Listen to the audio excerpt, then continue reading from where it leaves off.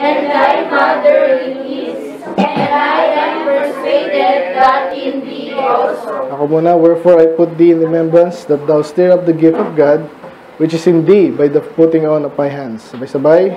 For God hath not given us the spirit of fear, but of power and of love and of a sound mind. Let's pray, Lord, maraming salamat. Muli, uh, tuloy namin ang mensahe, Panginoon. We pray na kami po ay punuin niyo po ng uh, tapang, Panginoon.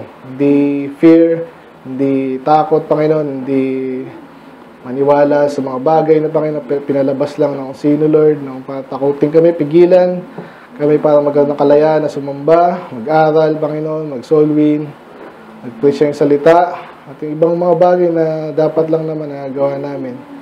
So I pray na especially ang pagitipon. So I pray kayo pong malulati, makuha namin ang mensahe, Panginoon, ito ay para sa amin. At ito po ay uh, nakabuti sa bawat isa, Panginoon. Even sa mga tao na pwede tayong ma-warningan din also. May po malulati, in Jesus name we pray. Amen. Ako po na po. Good afternoon po sa lahat. Title po nito ay The Spirit of Fear. Spirito ng takot. Hindi natin gusto yun. Okay? Kaya subtitle natin, Fighting the Fear of the Enemy as Implanted. So, dilalagay tayo, tinataniman tayo ng fear. Pag takot ka na, hindi ka na makakilos. Uh, hindi natin natapos kanina umaga. So, ganoon tayo ng background, no? Again, si Timothy, si Paul. Si Paul yung parang mentor ni Timothy. Parang pastor niya. Parang ganon. Pero hindi siya naging pastor talaga eh. Church planter. Pero si Timothy, ang pastor na bata, naiiyak na siya sa mid. Uy, yung sabayan. Mainig na. Tapos na yung basa, di ba? Uh, time na makinig. So, sino matapang dito?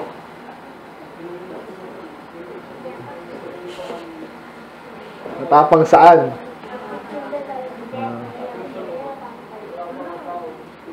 Uh, matapang ka tao. Ay, matapang, hindi takot magpatuli yan. Ha?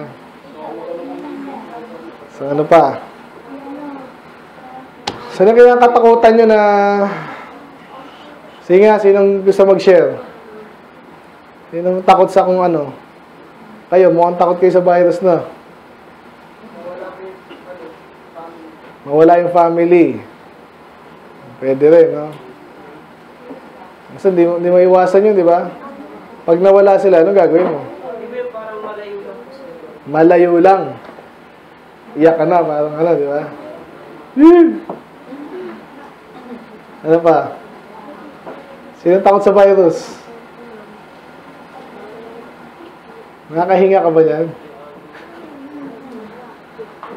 Sino takot sa multo? Yun ang pwede, pwedeng dapat yun ang ating ano, eh, title eh. Takot ka ba sa multo? Yung multo kasi wala naman yan. Pwede, parehong pareho yun. Yung multo, mga demonyo lang yun eh. So kung malapit ka sa Diyos, protektado ka ng Diyos, di bali wala rin yung multo. Yan yung virus, si Megatron. Multo yun eh. Natapos natin kanina umaga, again, yung uh, nakita natin sample kay David, takot din siya, matapang yun eh, pero yung mga bagay na kinakatakutan siya, especially nga pag kaibigan mo mismo yung nag-turn against you. Or marami kang away, wala silang pwedeng gawin sa'yo, buti man lang kung pwede ka lang patayin lang, tsyuk, patay, tapos na, di ba? Eh, paano yung mga ibang loko-loko talaga ng ginagawa? Ino-torture. Yung mga gano'n, sila ulo eh, no? Sa panahon natin, hindi na uso yun physically, pero nangyayari din yun sa emotionally daw. Yung iba, ganun ang style. Torturing ka para hindi ka na mag-church. Aasarin ka na aasarin. Pag di mo kinaya, ayaw mo na rin. Di ba? May pinag-apply tayo dito, hindi ko sabihin sino. Dati masigasig sila, di ba? Atin sila, masaya sila sa aga pa nga nila eh. So ginamitan sila ng ano, kalaban. Kaya sabi ko, sabi ko lang, pagbutihan mo lang yan. Kasi bata pa naman eh. Maalala, maalala niya. Iba yung baptist, amen? Iba yung church. Hindi yung ano.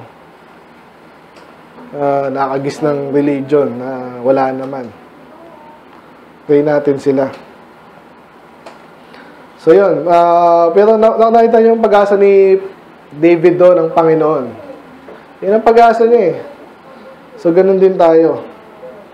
So kaninang umaga, dinaan natin yung points natin. Paano ngayon natin ma-identify ano ba yung spirit of fear, paano iwasan, paano labanan. Okay? May espiritu ng kakulitan din ha. Kasi iwasan nyo rin yan. Okay, so number one kanina is, uh, nakita natin, it is not God's will. Hindi gusto ng Diyos na takot tayo kung saan-saan. Takot tayo sa, tawag kasi sa US yun, boogeyman. Alam nyo ba yun? Sa US, may sinasabi sa boogie. Pag sinabi boogeyman, panakot din sa mga bata. Oo, dyan yung bu- Hindi natin, hindi uso dito yun eh. Sa US yun, yun panakot nila sa mga bata. At ang, ngayon inaasahan natin, wala yun. Joke lang yun. Ginaga, tinatakot lang andyan yung boogeyman. Yung mga bata naman, di takot na takot. Pag laki-laki mo, parang di naman pala totoo yun. So, ang ginawa ng mga matanda, na uto kayo, di ba? Wala na palang ganun. So, mag-ingat tayo dyan. So, hindi gusto ng Diyos, takot tayo. Eh, gusto pa ng Diyos, matapang tayo. Sa tama. Amen? Hindi ba yung mga, ano, mga church member dapat takot yan sa salita ng Diyos? Yes. Yun ang tamang takot. Takot kang i-offend yung salita ng Diyos, ang Diyos mismo. Matotohanan, hindi mo lalabanan yun. Doon ka dapat takot. Kaya nababanggit ko lagi sa inyo, pag nasa church na tayo, makinig. Diba? Kasi pag hindi, kalabang ka, parang kalaban doon. Diba? Kasi yung kalabang kayo, ba't pa hindi ito? Makinig. so, it is not God's will na takot kayo sa mga bagay na, nga, boogeyman. Kunwari lang palan. Kasi hindi na kayo makagalaw. Hindi, nyo, hindi natin magawa yung kalooban ng Diyos. So, unang-una dyan, sa pagpunta lang sa church. So, salamat. Siguro, hindi pa kayo natakot o nagsawa na kayo. Ta- hindi ba kayo takot sa virus? Ha? Takot ka ba sa virus? Ikaw? Ba't nakamas kayo? May sipon. eh di lumabas na yung si kumapit na yung sipon sa mas nyo. yes.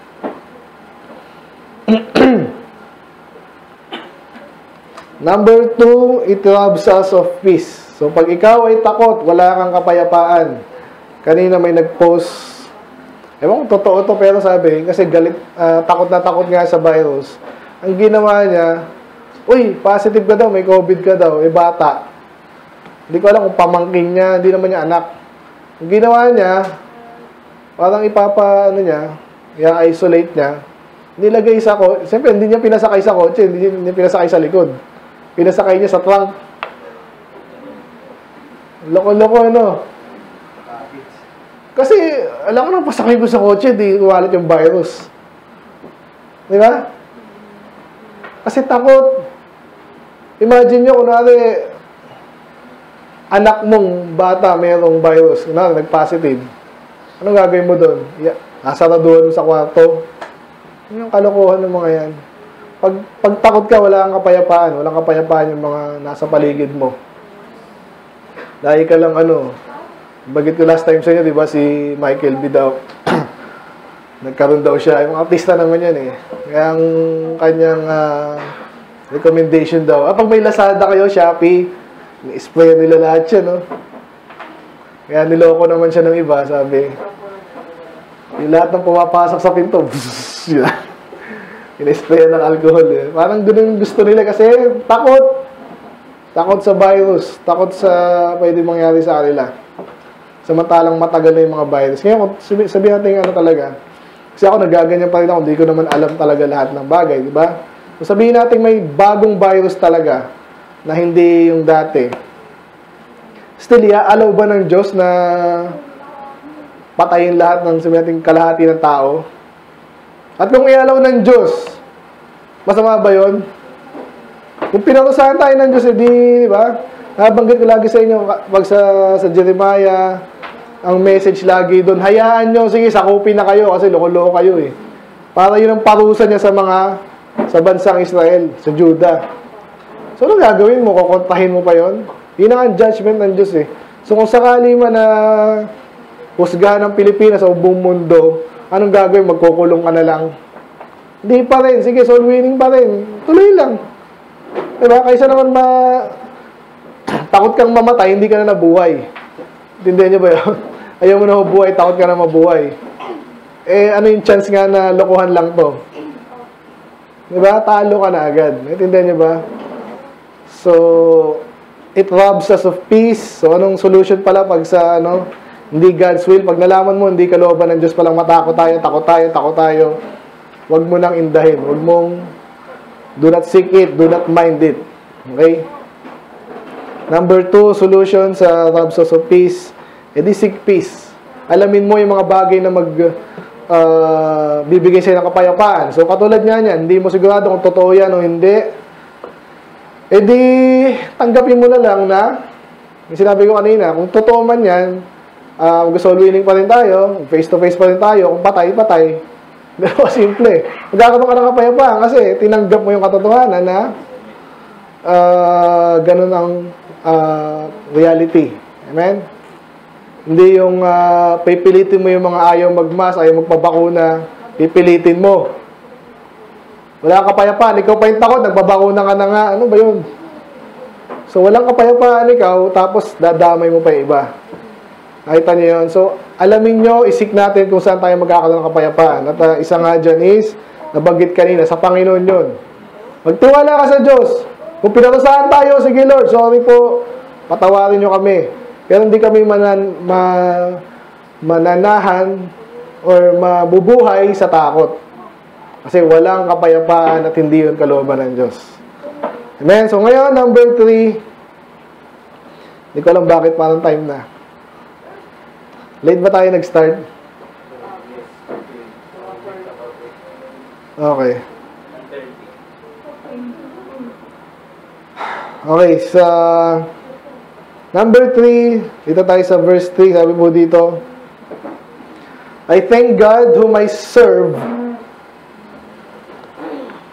for from my forefathers with pure conscience that without ceasing I have remembrance of thee in my prayers day, night and day. So again, ang sulat to ni Paul kay Timothy. Si Timothy ay gusto niya ma-comfort. Okay? At later, sabi niya dito, maging matapang kayo, huwag kayong takot. Okay?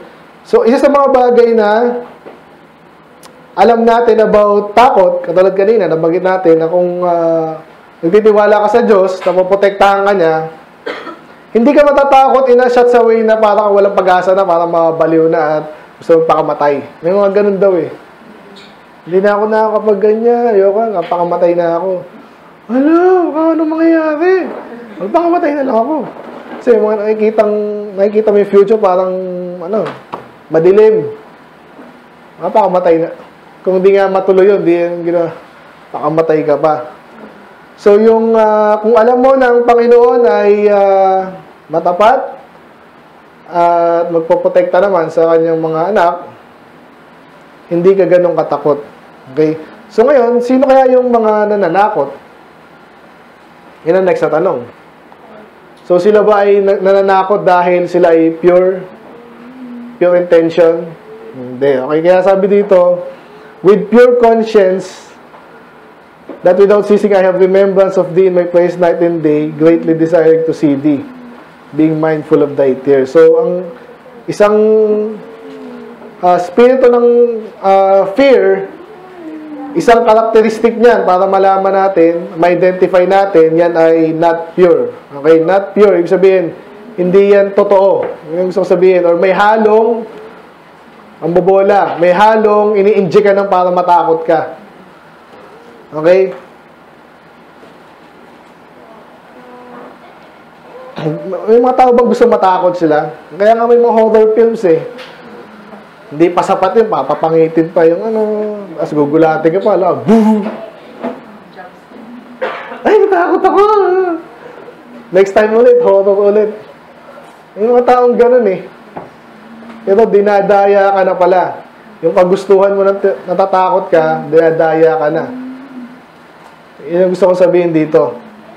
So kung sa isang mundo na ang Diyos ang Diyos, siya nag-govern, siya nasusunod, siya nagpoprotekta, hindi dapat tayo matatakot ng gusto. Yun ang gusto kong sabihin doon. Okay, so anong solusyon doon?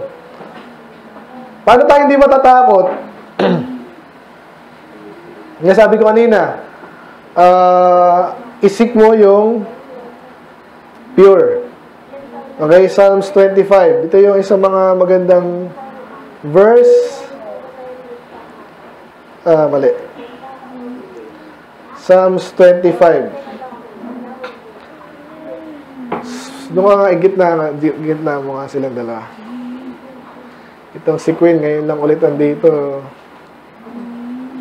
Sabik na sabik siya ngayon eh. May basa po. Ready, go. The secret of the Lord is with them that fear him, and he will show them his covenant. Isa sa mga pinaka yung lagi naisip dati, bakit yung mga Israelite, yung mga Hudyo, hindi nila maintindihan yung dapat nila maintindihan. Di ba? Kahit sa church, paano ipukpok mo dito, ito yung dapat natin gawin, ito yung totoo, yung iba, amen, yung iba, ha? Hindi maintindihan. Kaya hindi makarelate. Sino kayo may problema doon? Malamang sila. Kasi may mga pinapakita yung Diyos, hindi sa lahat. Okay? Kasi hindi ka pure. Kunwari ka lang atin-atin, hindi mo hinahanap yung kalooban ng Diyos. Yung mga naghahanap talaga, makikita niya yung magsabing covenant of the Lord. Ah, kaya pala ganun. Yung sa panahon ng mga mga Hudyo, ano yung mga nakikita lang natin, mga seremonya lang eh. Pinapatay yung baka, pinapatay yung ano. Yun po na nakikita nila, eh. naintindihan ba nila yon? Hindi lahat. Yung iba nakakaintindi yun. Kasi in-explain na yun sa Deuteronomy. Da, yung dati nakikinig ko lagi sa mga preacher, kaya alam ko iba, hindi nag-aaral eh. Kaya sabihin nila, sa Old Testament, ganun lang, sakripisyo lang ng hayop. Pero sa New Testament, ano na, ang application yan sa puso na. Tama naman yung kalahati doon. Kaso, ang mali, parang sinasabi nila iba yung sa Old Testament, iba yung sa New Testament. Hindi totoo yun. Kung ano yung sa Old Testament, yun na rin yung sa New Testament. Kaso, hindi naintindihan ng marami sa kanila. Yun po yun. Matagal na, lagi sabi sa sa Ezekiel, sa Deuteronomy, ang ah, circumcision is sa puso na eh. Sabi nung iba, kaya tayo nagpapatuloy sila, dati physical lang. Hindi rin, sa puso na rin dati. Hindi lang nila naintindihan na hindi, hindi nabasa or sa commentary sila nagre-rely. Okay, hindi ganun. Old Testament pa lang, kung nakikita mo mag-sakripisyo ng hayop, supposedly, maintindihan mo na yung mga naintindihan natin ngayon. Naintindihan nila yung mga naintindihan ngayon, dapat. Okay? Obviously, mas malinaw sa panahon natin ngayon. Still, pareho. Kaya sabi dyan, sino makakaintindi ng mga talaga mga secret, ibig sabihin yung mga gusto natin maintindihan na pure about the Lord? Hindi lahat ng tao. Sabi lang dyan, silang may takot sa Kanya. Yung tamang takot sa Diyos at papakita ng Diyos sa kanila yung Kanyang covenant. Yun, yun. So, maintindihan mo na hindi lahat ng Israel ay maliligtas. Hindi niya sinabing ah, lahat ng physical Israel mapupunta sa langit. Hindi ibig sabihin na ang ah, covenant niya sa buong Israel na lahat ng lahi ni ganyan-ganyan. Hindi ganon. Ang point ko doon, it is not pure. Amen? Yung fear, di yan pure. Pag nananakot, ganon din sa mga bata. Pag tinatakot-takot ka lang, ang tanda mo na, ah, napapasunod ka dati ng magulang mo, tinatakot ka. Okay? Huwag magulo. May ano dyan, may multo dyan, kung ano man yan. Puro panakot. Kahit sa mga trabaho, gano'n, di pwedeng puro panakot ka. Dapat meron ka talagang pinupunto. Sa, ay, magagalit yung boss natin, huwag yung gawin niya, Ga- gawin mo to. Puro panakot, hindi yun pure. Okay?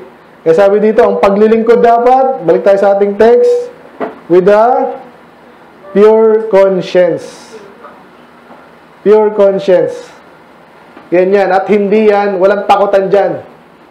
Ito lang ginagawa dito. Yung mga forefathers pa natin, sila, naglingkod, Pure conscience. Ako, naglilingkod ako ngayon, pure conscience. Hindi takutan lang. Hindi tayo mga bata na dito. Amen? So, yun po yun. Ako, yun na nakikita ko. Pag ah, takutan lang sa boss mo, kung sino man yan, hindi concerned sa yun. Hindi siya concerned talaga sa company. Takutan lang yun. Hindi ka susweldo. O sige, salip na, ganito gawin natin para ma- yung kampanya. Di lahat tayo, panalo. Sa church, ganun din. Imagine mo, tanda mo na, oh, papaluin kita pag hindi ka nag, ano, nag-soul winning. O sige na nga, yung mapalo. Yung tanda mo na. Takutan pa rin. O sana nakuha niyo. Medyo mahirap i, ano, i-relay. Okay? So, so yan nakita ko rin sa Megatron na yan. Ganun ang kanilang, ano, di ba? Napansin nyo? Huwag kayo, ano, kasi mayroong mamamatay kayo. Hindi na nga naniniwala yung tao kasi hindi nga takot eh. Kayo takot eh. Baliktad na. So, hindi pure uh, spirit of fear yan. Yun ang gusto ko sabihin. Okay, next. Bilisan ko na lang kasi tumatakbo yung oras. Verse 12. Ito medyo naglaptaw ako. Ito yung aking memory verse. Ito papakanta ko mamaya, bad ah. Ito. Ano sabi dyan? Pakibasa nga. Ready, go. For the which cause I also suffered its stings. Nevertheless, I am not ashamed. For I know whom I have believed, and I am persuaded that he is able to keep that which I have committed unto him against that day. Ano yung pinaka-striking dyan? I know whom. I know, di ba? Kasi ganito yan, pag hindi ka maintindihan ng ibang tao, pero ako, alam ko. Alam ko talaga eh. Kilala ko, especially yung pinagtiwalaan ko. Ganyan tayo, di ba? Paano mo puto sigur- sigurado ka sa langit ka? Paano mo na siguro? Kilala ko yung pinaniwalaan ko, hindi siya, hindi siya sisira sa usapan. Sinabi niya, manampalataya ka sa akin, tumawag ka sa akin, may anak ka ng Diyos, tanggapin mo ako, anak ka ng Diyos, liligtas kita. Kung kilala mo yung nangako sa'yo, tinanggap mo siya, walang ibang tao magsasabi sa'yo, hindi naman yan eh. Wala naman yan eh. Ikaw, kilala rin kita eh. Wala kang kwenta eh. Yung, yung tinanggap ko sa Panginoong Yesus. So, kaya number 4 point ko, ito yung actually malaking point dito eh. Alam mo, ang spirit of fear, pag ito ay yung kabaligtaran ng no, knowledge, it stems, it stems from the unknown. It stems from the unknown. Ibig sabihin, pag hindi mo alam yung nangyayari, pag hindi mo alam yung mangyayari, gagawin mo, magtitiwala ka, anong, ano ka, matapang ka ba nun? Ano, niyaya ka ni, ako nga, pasalamat ako, sumasama kayo kahit saan eh. Tsaka yung magulang niya siguro, may tiwala na sa amin, amen? So, salamat. Imagine mo kung si, kung saan sa tayo nakakarating. Di ba? Bagay, mabait naman kayo, tsaka kami, di ba? Imagine yung dadali namin kung kasaan-saan, di ba? Kung hindi ko kilala kung sino ba yung dadalhin yung anak ko sa kung saan, di ba? Hindi ako magtitiwala dyan. Pero kung nagtitiwala ka, alam mo, ito siguro, yung mga ano lang ng magulang nyo, eh, hindi naman kami tatakbo, di ba? Alam nga namang patayin ko si Chelsea, tapos iwan ko sa ilog. Hindi, hindi gagawin ni Pastor yun, di ba? Kasi dyan yung bahay nila, Pastor pa. So, hindi pwede yun. Amen? Ano pa, ano yung ano, saan ka ba takot pag mag-exam kayo? Ano, malapit na. eh. Pag, yan, magbabalipis kayo, di ba? Hindi, pag inaaral mo yan, takot ka ba? Alam ko na yan eh, ganito lang yan, either ito o hindi. Alam ko yan. Sige, go! Pag na-delay yung ano, ba't walang quiz? Ikaw pwede ba? Hindi ka takot! so dito po, sa nangyayari sa atin ngayon, sa, balik tayo sa Megatron, kaya sila takot din nila namin nangyayari kasi niloloko nga tayo. Alam mo, madali namang malaman kung niloloko ka o hindi. Paano malaman pag niloloko ka ng tao? Pag Hindi pina, may mga bagay hindi pinapalam sa'yo, nag-flip-flop sila, ano pa. Sabi nyo yung vaccine dati, 95% effective. Nung dumadating yung data, hindi naman eh. Ay, hindi, sige, actually mga 75 lang. bandang huli, 41 na lang ata. Na, nagkakasakit ka pa rin. Kaya ang ginawa nila, ito challenge ko yung nagsabi sa akin na sabi nila, alam namin yan. Brad, alam ko yan. Huwag kang- Tiwala na tayo sa gobyerno, inaaral namin, totoo yan. O ang tanong ko sa kanya, alam mo ba na binago ng CDC yung definition ng vaccine? Dito lang, year 2020 to 2021. Parang last year lang. Kasi nga nakikita na nila, hindi effective. Ang ah, ang definition ng vaccine, di ba kaya ka binabakunahan para hindi ka na magkaroon. So ngayon, binago nila. So ngayon, yun, yun ang sinasabi ng mga tao ngayon, hindi naman talaga mapoprotektahan eh. Yun ang vaccine eh. Yun ang sabi ng vaccine. Ngayon kasi, pinifeed nila, hindi naman sinabing ganun. Yun ang sinabi. Tingnan nyo, na-archive yan. Yun ang definition ng vaccine dati, ngayon iniba nila. So ngayon kung iniiba mo yung definition ng bagay, parang taong ano, parang taong di may asahan, hindi makatotohanan. Anong ginagawa? Hindi ko naman sinabi yan, pero ala, naalala ko yung sinabi mo exactly.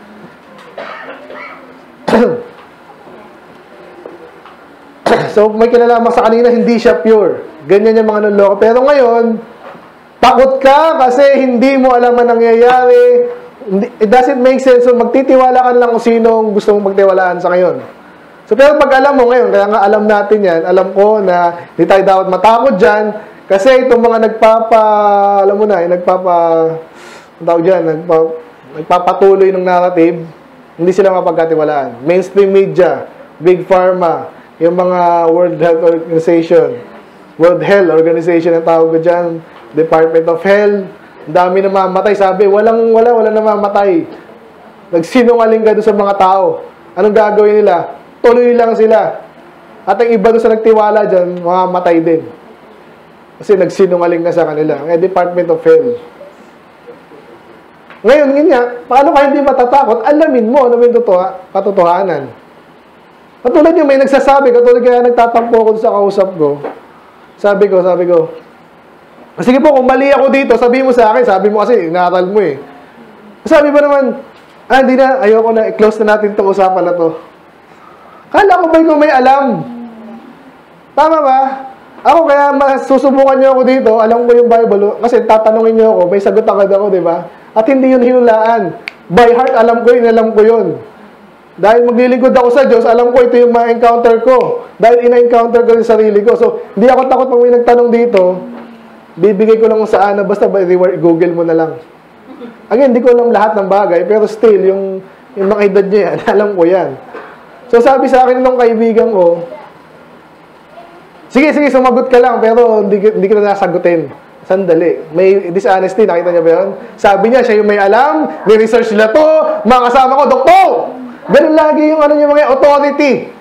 Pansinin niya, sabi ni Fauci, sabi, parang, parang gusto niya sabihin, I am the science, eh. Parang gusto niya sabihin, ganun. Huwag niya akong, tinatanong niyo ako, yun ang sinabi ko eh. Eh, ganun nga, science, dapat tanungin kita.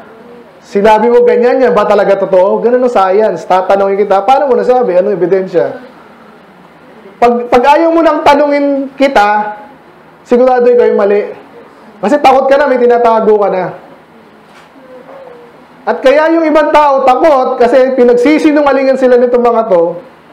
Sa halip na sundin nila, ang hanapin nila ang Panginoon. Ano bang sinabi ng Diyos sa mga bagay na ganito? Puprotektahan kita, gawin mo lang yung kalooban ko. Pumunta ka sa church, except may may virus. May sinabi mong ganun? Punta ka lang. Face to face, all winning. Yung iba, hindi mo na kailangan takutin kasi talaga hindi na nag-all winning. Matagal na eh. Sa atin, hindi ko ma, ano, hindi ko imagine na hihinto tayo. Diyan kanina nga, medyo na, nararamdaman ko na yung pagod. Yung dahil wala si Brad. Miss ko si Brad eh. Yan ang hirap na lang soul winning. Amen? Ito mga ano, gusto ko encourage yung mga bata. Alam ko, ramdam din nila yun. Alam ko yung mga, ano nila eh. ah, yung ilang beses na reject, tapos may kumukontra pa doon. Iniisip ko, anong iniisip na itong mga to? Baka, baka next time, sa, baka matakot na itong mga to. Ang hirap. Pero hindi tayo titigil. Amen? Kasi hindi tayo takot.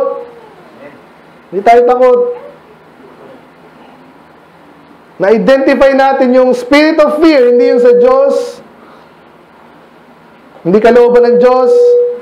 Nanakawan tayo niya ng kap- ng kapayapaan.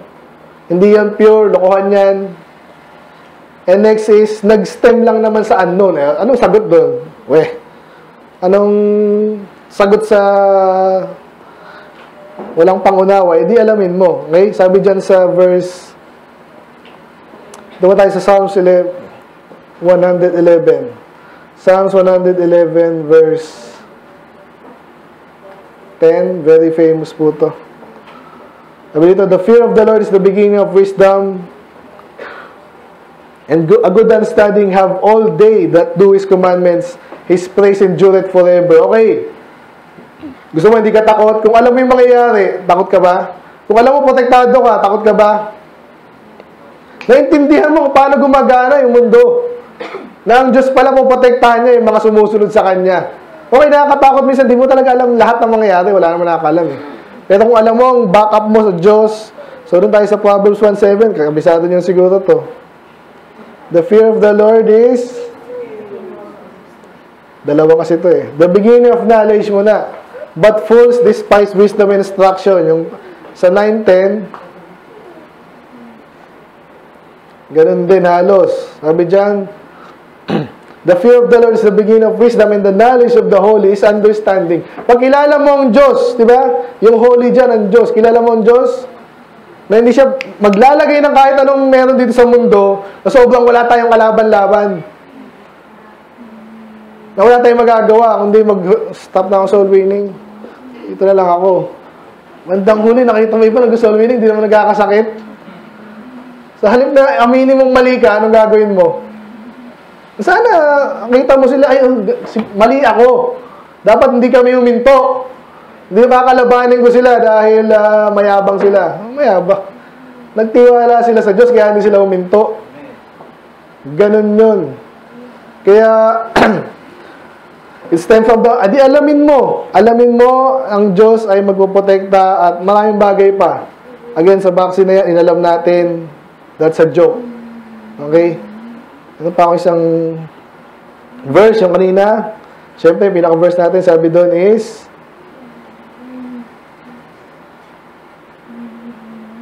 sabi sa 12 is, sabi dyan, I know whom. Yun nga yun. So, alamin mo, hindi, sorry, mayroon pa isa, eh, sa 7. Sabi dyan is, For God has not given us the spirit of fear, but of power, of love, and of a sound mind. Ano yung sabihin sound mind? Sabihin, malinaw sa'yo. Pag may kalituhan, hindi yan sa Diyos. Pag yung preaching hindi na nagme-make sense, hindi na sa Diyos yun. Or at least meron siyang namimiss na pwede niyang dig deep. Okay? Pero pag hindi malinaw yan, hindi sa Diyos. Ang gusto ng Diyos, maintindihan natin siya. Okay? Hindi lahat ha, pero hanggat maaari. oh. Sa edad nyo, sa application natin, sa, sa buhay natin ngayon, gusto niya malinaw. Okay? Hindi ang Diyos ang nagbigay ng kalituhan at pag hindi mo alam, alamin mo na lang. Huwag kang takot. Okay? Tapos. Last. Ito na nga, yung pinaka-verse natin. Sabi diyan, For God hath not given us the spirit of fear. Hindi ang Diyos ang nagbigay sa atin ng spirito ng pagkatakot. Subalit, anong binigay niya? Ang kabaliktaran ng pagkatakot? Power. Power. Hmm. Yung power, sabihin, kapangyarihan. Hindi ikaw yung, di ba? Sa mga superhero, palakasan ng power yan, di ba? Ayabangan yun eh. Sino pinakamalakas? Matatakot ba si Superman kay Batman? Ha? Hindi, matalino si Batman eh. Kaya natalo niya yan, di ba? Hindi rin. Pero pwede yan. Pero palakasan niya ng power. So, ang tanong, yun nga, balik tayo sa Diyos na naman. Ihinto ba tayo face to face?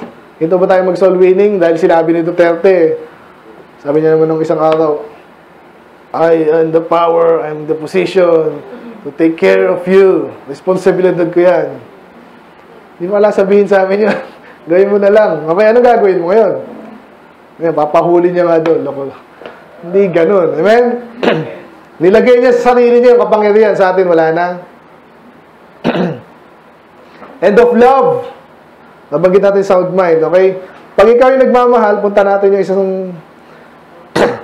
Ko sabihin dito, hindi ang Diyos ang nagbigay niyan. Okay, sabi diyan, For God hath not given a spirit of fear. Pag takot ka, hindi ang Diyos ang nagbigay niyan. Amen? Eh, magkakasakit. Hindi ang Diyos ang nagbigay niyan. Ang binigay ng Diyos, makapangyarihan ka. Hindi yung takot na hindi ka na makilos. Tapos kapapagalitan mo yung matapang. Kunwari, matapang ka against sa matapang. Ikaw takot ka. Naintindihan niyo ba? so, ganun lang kasimple yun. Na pag takot ka, hindi yan sa Sino nagbigay nun? Kung yung kalaban ng Diyos. Kalaban niya ng Diyos. Kaya I, I know itong pandemic na to sa demonyo yan.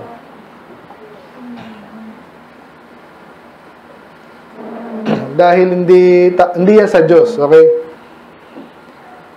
So ano solusyon? Seek the Lord who embodies the power and love. Okay? Kilalanin mo ang Diyos na siya pala ang may kapangyarihan at nag siya nagmamahal sa iyo. So, medyo na yung mga generic ka din. Eh. Pag kapakapangyarihan siya, matatakot ka ba? Natatakot ka pag kakampi mo ang Diyos? If God before us, who can be against us? Sabi ng Diyos. Hindi ka na matatakot sa Diyos ka eh. Eh, responsable ka, dapat magmas ka rin. Nagmamas din ako pag walang ano na, alam mo na, para wala lang gulo. Pero talagang wala, walang tiwala dyan. Kung patay-patay, kung galing-galing, kung na-COVID, recover na lang. Amen? Dahil mahal ka rin ng Diyos. At pag mahal ka ng Diyos, di ka niya papabayaan. Yun, yun lang pinangahawakan ko dyan. Again, nung nagsimula tayo dito, simula yung pandemic, medyo natuwa din ako kasi nga hindi na kami bubiyahe sa trabaho. Pero sabi ko lang, ang gagawin namin, hihinto namin soul winning. Malinaw yung sagot ng Panginoon. Hindi. Lalo nga maraming mamamatay, la- maraming takot, mas magiging effective yung soul winning. Yun yung totoo. Kaya di tayo huminto, doon yung power, doon yung love. Last na lang, basahin ko na lang po yung isang medyo parallel verse nito. Sabi sa 1 John, ah, sana maalala ko. 1 John, ano nga ba yan?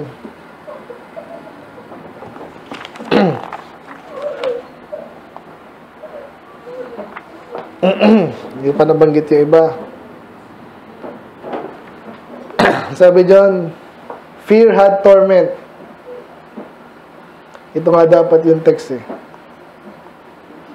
Nalagay. 1 John 4.18 Ay, basa po. Ready, go.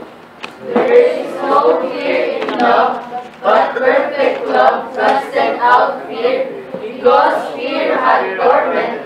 He that feareth is not made perfect in love. Yun. So, kanina nga, katulad niya, nag soul winning tayo? Lord, ano, sige, gagawin ko.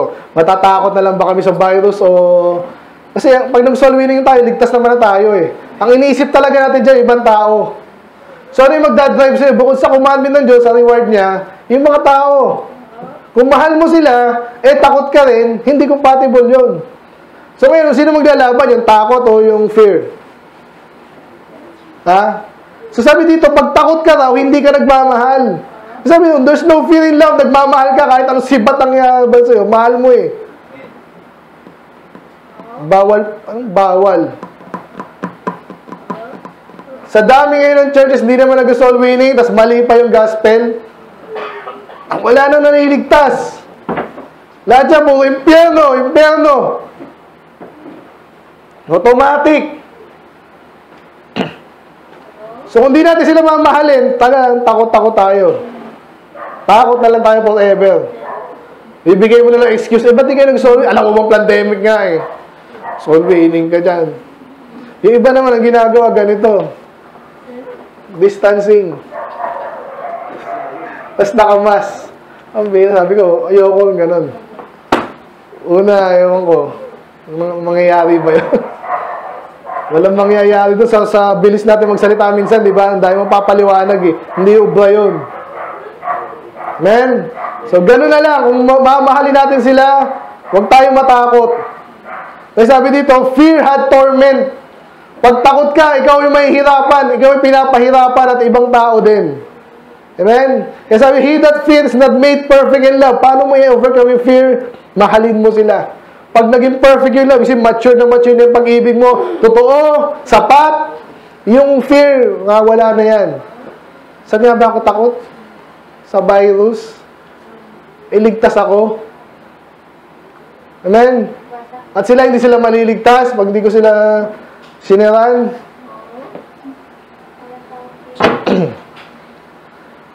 so, yun lamang po, ah, yung spirit of fear is not of God, not the will of God.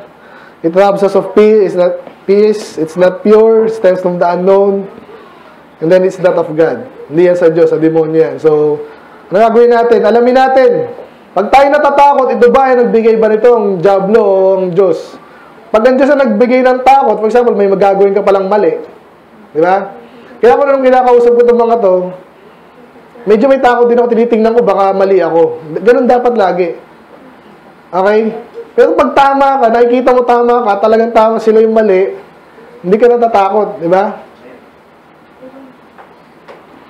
So, especially yung pag ini-implant ng demonyo, demonyo, kaya lang naman, kaya lang naman sila takot kasi ang demonyo naglagay, bigay mo yung katotohanan sa kanila. Yung iba magigising din. At hindi na sila matatakot, eh, in the end, marami nang matapang. Okay? So, alisin natin yon Labanan natin yon At tulungan din ng iba, tulungan din natin ibang tao na magkaganon. Amen? So, again, mangyayari yan pag naligtas sila una sa lahat. Pag ligtas na sila, hindi rin takot mamatayan eh. Okay, so let's pray. Lord, maraming salamat sa inyong mensahe, Panginoon, na perhaps uh, medyo malalim but uh, ramdam namin to, I believe, sa panahon namin ngayon, may something's wrong. Kung kami tinatakot lang. At uh, hindi naman pala sila concerned sa amin, bandang huli, nakikita namin din ang kanilang objective, it is money lang. Para mabentahan kami ng isang bagay na hindi namin kailangan, nakakadelikado pa, Panginoon. so I pray na maging matapang kami, intindihan namin itong bagay na to, kung saan yung pure at hindi. Alamin namin kung ano yung galing sa inyo, Panginoon. At ah, yung kapayapaan na meron kayo, yun ang aming isik dahil ito po hindi manggagaling sa ka, ka, pagkatakot, ito po yung manggagaling sa assurance na kayo po ay uh, uh, magpoprotekta sa amin habang ang ginagawa naman namin yung inyong kalooban, Panginoon. So kayo pong malalati at uh, mag-bless uh, for the rest of the week na naman, Panginoon. In Jesus' name we pray.